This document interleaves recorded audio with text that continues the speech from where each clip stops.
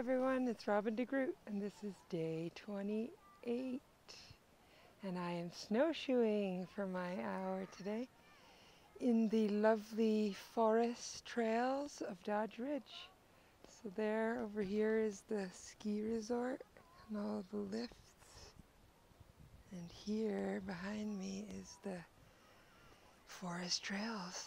So I've been here for cross country with a little bit of this path which is groomed but I've never actually gone into the woods part since uh, I like to do cross-country skating style skiing, which needs a pretty wide groomed trail, and often it's just a narrow Nordic trail, which I don't mind, but um, this was fun today to do snowshoeing with this, um, this uh, goal in mind of the one hour day and it was really a really nice day. I started to get hot, so I had to take off my ear band and gloves.